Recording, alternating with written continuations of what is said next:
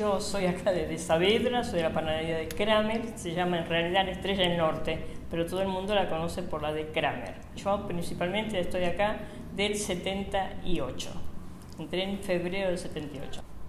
Que yo tenga entendido es del 1905 que se inauguró la panadería, que era nada más que estaba la panadería, las calles eran de tierra, no había, no había todavía ni empedrado, nada, nada y le decían la panadería del burro negro, porque el dueño tenía un burro y con ese burro hacía el reparto. Y no tenía ni entrada adelante, tenía un empedrado y estaba este, los, ¿cómo se llama?, para atar los caballos, para la gente venía a caballo a comprar el pan. Y el reparto lo hacían en un carro con un burro negro. Así que es, muy vieja la panadería. Fue una de las primeras de Saavedra. Hoy en día es la más vieja, es la más vieja. A pesar que por acá de la zona se cerraron unas cuantas, pero eh, subsiste esta y hay otras que, este, gracias a Dios también. Yo podía haber cambiado, poner este el sistema para trabajar. Me hubiese comprado un horno rotativo me salía mucho más barato por personal y todo. En cambio acá tiene que venir la gente todos los días a amasar y todos los días a cocinar. Pero el pan tiene otro gusto, es mucho mejor, es más sano, pues más sano, no tiene ningún componente, ningún mejorador, no tiene nada. Eh, o sea, me parece a mí, como tengo hijos, nietos y qué sé yo, me parece que es mucho mejor, mucho más sano y todo. Y después, si Dios tirase más adelante, lo cambian, qué sé yo.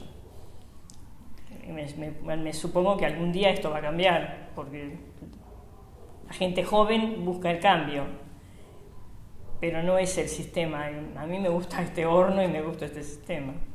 De 1905 se, se, se hizo arreglo una sola vez porque se rajó y lo arreglaron creo que fue en el 70 y pico, 75, una cosa así. O sea que está muy bien hecho.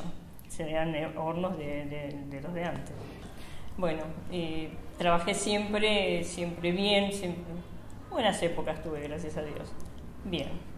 Y bueno, con mi personal, que tengo, este, por ejemplo, el maestro, que hace 18 años que lo tengo, eh, las chicas, bueno, después tengo dos hijas, pero una sola trabaja conmigo y después mi hijo, este que está siempre conmigo acá.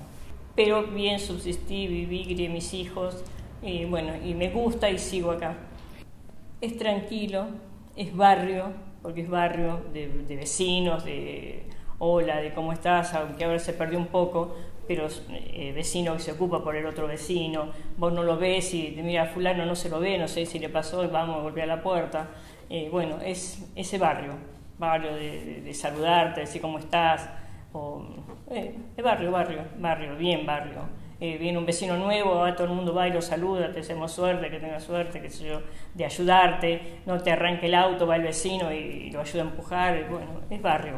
Es algo que uno tiene todos los días, porque no es que venga otra gente de otro barrio, no, tenemos la misma gente todos los días, son los mismos vecinos que vienen a comprar. El cliente se va, pero vuelve. Es así.